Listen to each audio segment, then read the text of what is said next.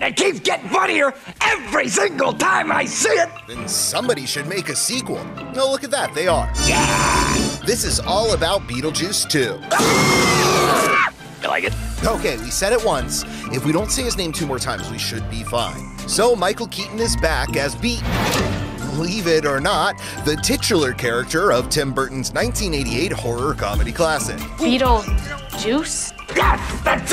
We didn't say that one, so it doesn't count. Anyway, Winona Ryder and Catherine O'Hara are also back as mother and daughter, Lydia and Delia Deetz. And Scream star Jenna Ortega plays Lydia's daughter. So let's play family just for tonight. Hmm? Ortega and director Tim Burton recently collaborated on Netflix series Wednesday, which was created by Alfred Gough and Miles Millar, who also wrote the sequel's script. It's like one big happy family reunion. You guys are making me nauseous.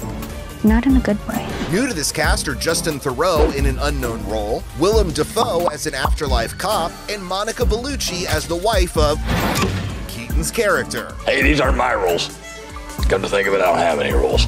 Burton has been planning the sequel since 1990, originally titling it Beetlejuice Goes Hawaiian. Nobody says the B word. Ah, we had to say it. His name is in the title. Okay, one left. Burton believed mixing horror with the tropical setting would make for comedy gold, even having his Ghost with the Most win a surf contest to save the day. But that project could never hang 10. I don't want to do business with you deadbeats anyway. Thank you. Okay, that's it. We made it to the end, so all that's left to say is Beetlejuice. It's showtime.